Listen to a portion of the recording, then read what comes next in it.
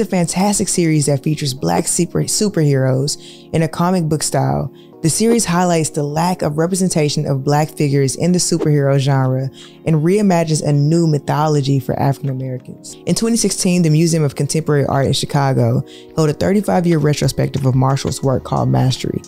It was held as one of the most significant exhibitions of the year. The show included more than 70 of Marshall's work spanning his career from the 1980s to present. Marshall's work has been exhibited in major museums around the world, including the National Gallery of Art in Washington, D.C., the Museum of Contemporary Art in Chicago, and the Whitney Museum of American Art in New York. He has received so many awards and honors for his contributions to the art world, including the MacArthur Fellowship Award in 1987 and the National Medal of the Arts in 2015. Kerry James Marshall said something that continues to shape the way that I approach career building with artists I work with. You can orient your actions so that you can